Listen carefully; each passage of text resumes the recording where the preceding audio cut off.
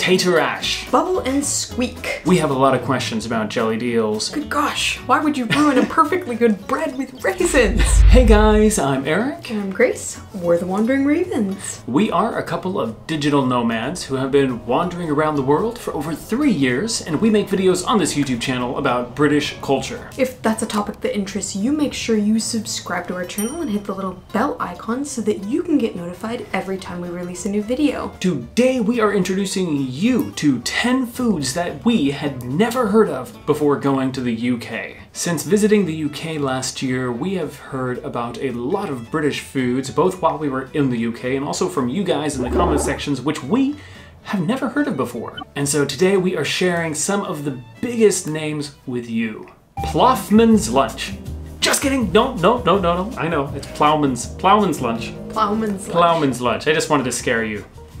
Because we don't spell plow like this in the US. We don't. We do P L O W. A plowman's lunch consists of bread, cheese, onions, and pickles. And butter, of course.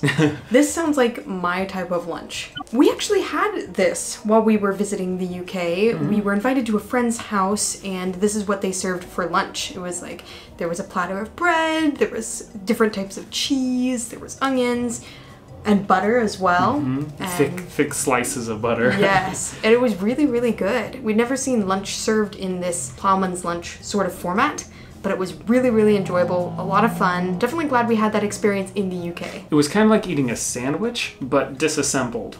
Mm-hmm. Because it's you got all the ingredients there. They're just not in a sandwich form. You're eating them individually. Except not the butter. Except for me, because I was eating the butter individually.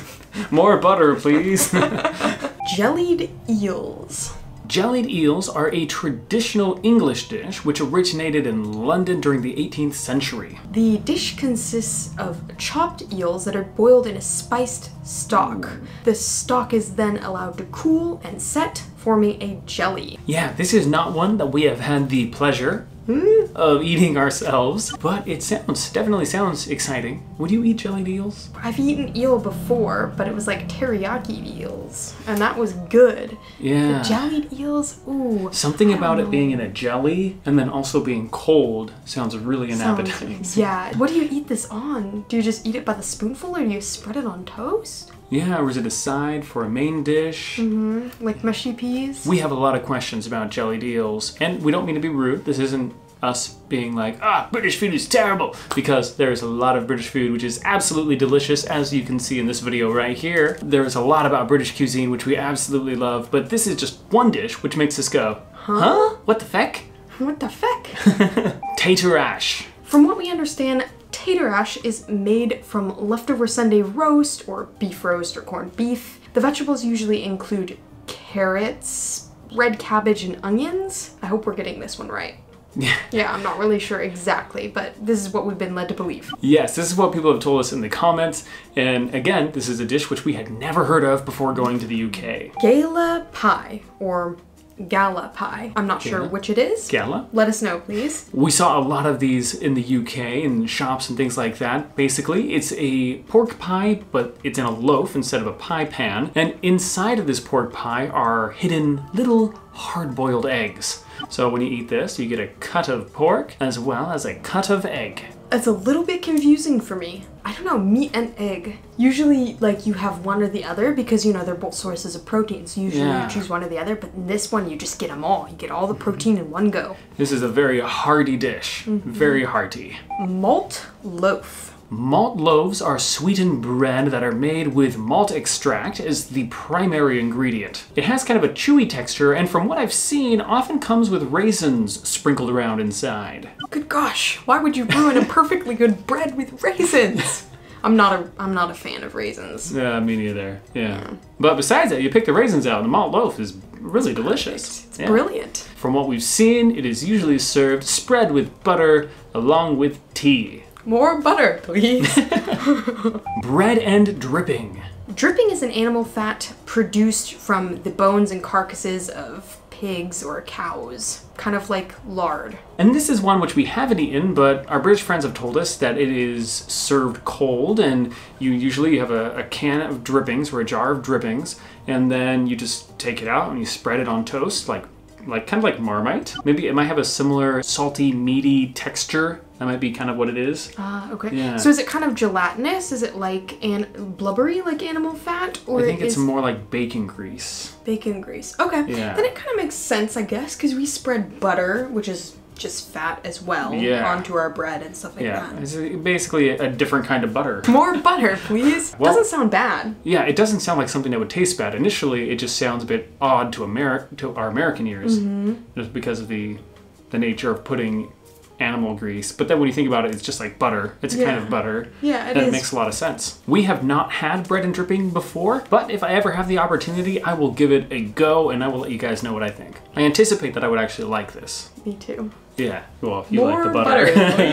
please. Scotch eggs. Believe it or not, we had actually never heard of Scotch eggs before we landed in the UK. Of course, then we saw it advertised in many different places, but we were wondering for a long time what is the Scotch egg? Because from the outside, it looks like a pastry or a kind of donut, you know? Yeah, it kind of looks like a donut. Yeah. I never thought of that, but yeah. Mm-hmm. So imagine our surprise when we found out that there was actually a hard boiled or soft boiled egg inside of that bad boy, and the whole capsule, the whole thing, is very, very delicious. Because think about it you got an egg wrapped in meat, coated in breadcrumbs, and deep fried. Like, that is an American's dream food if ever I've heard of one. Really need to bring the Scotch eggs over to the United States because those would go over big time. Supermarkets would, like Whole Foods, I could see them being sold in there, like package of Package of Scotch, Scotch eggs, eggs. that are gluten free and vegan somehow. Mm-hmm. You, it's in the United States, so you could sell these things by the dozen. Yeah, seriously. Just a carton and you open it up and there's Scotch eggs. It's all inside. Scotch eggs.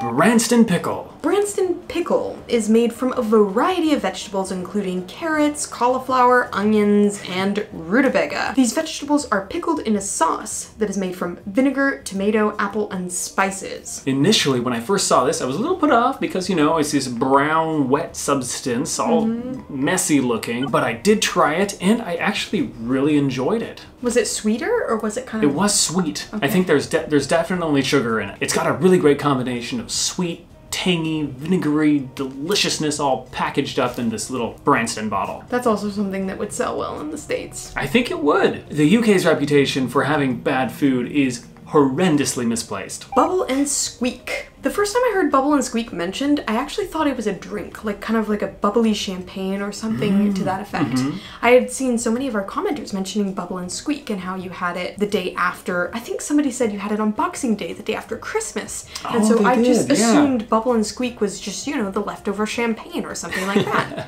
what it actually is, is a traditional British breakfast made from cabbage and potatoes. Now, I got a question about the name, Bubble and Squeak, because what that makes me think is that does it make noise? Ooh, or is it like a rhyming slang name? That's Where does I the name come from?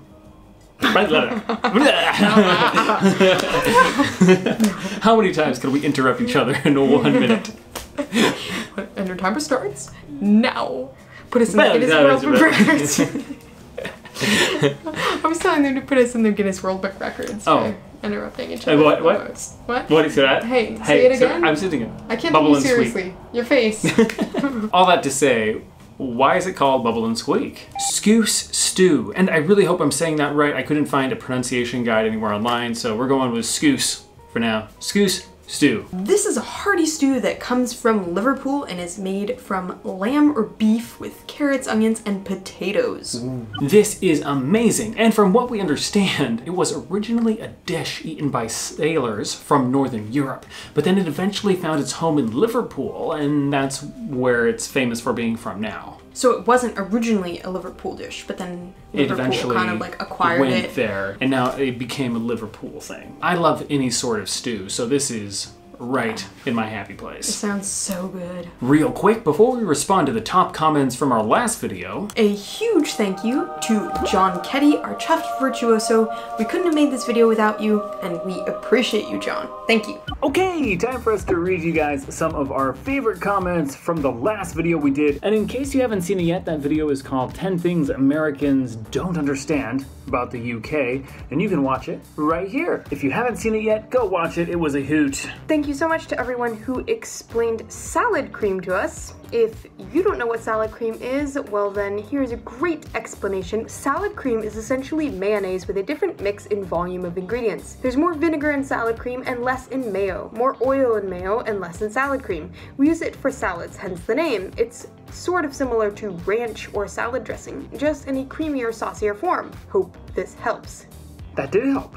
Thank you. Also, Jeremy shared a history fun fact about salad cream with us, and Jeremy wrote Salad cream was made as a replacement for mayonnaise during the war, as eggs were in short supply and people developed a taste for it. I like that. Enlightening. Yeah. It makes sense. And I do like mayonnaise, so I imagine that I would like salad cream. Next time we're in the UK, I promise to try some. Next up, Tony explained why some in the UK pronounce lieutenant as lieutenant. U and V used to be written the same. Lieutenant is two French words from Latin joined together. When the British adopted it, lieutenant became lieutenant.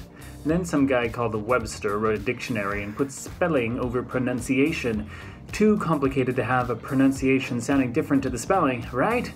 By the way, the British pronunciation is not universal in the UK. Either pronunciation can be used. Ah. Oh, that's good to know. I didn't I didn't know that. Yeah, I actually thought that all birds said lieutenant. So did I. So this comes from a bit of French. If this was a French word, how would you pronounce it? Oh. Lieutenant, Lieutenant, maybe? lieutenant, lieutenant. Or lev, lieutenant? Lieutenant. So, okay, that, that makes sense then. Why it would have been translated as an F. Next, Brian shared with us the history behind the colorful phrase that is used in the UK to knock someone up, which is definitely not how it's used in the States. No. In case you don't know, in the US, the phrase to knock someone up means to impregnate them.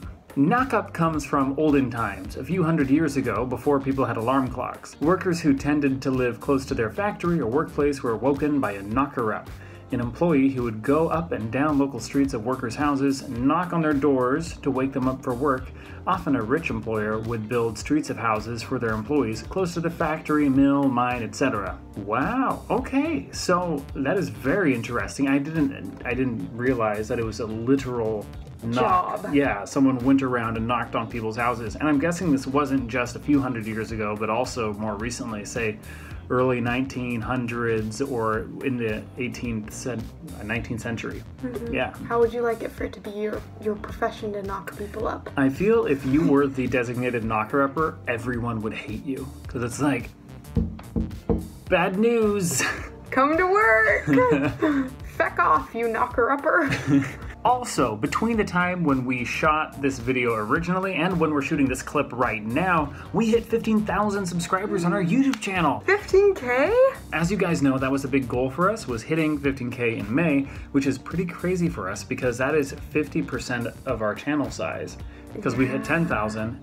It took us, basically it took us three years to hit 10,000. Mm-hmm. And then in one month, we went 50% more and hit 15. Yeah, that is crazy. And you guys are the best. So thank you so much to everyone who has subscribed over the last month. We really appreciate all of you and welcome to our little corner of the internet. We're so excited that you're here and we can't wait to get to know you better in the comments under this video. You know, 15k is kind of a big deal. Should we do something to celebrate? Hmm. If you guys have any ideas about what we should do to celebrate hitting 15,000 subscribers, drop those down in the comments below. Again, I'm Eric. and I'm Grace. We're the Wandering Ravens. And if you want to help us spend less time at our day jobs and more time creating these videos for you all to enjoy, head on over and join us on Patreon. We will also be hosting a live stream this upcoming Saturday. So if you want to get in on that, link in the description below. Thank you so much for watching. We appreciate each and every one of you, and we will see you in the next video. Bisous!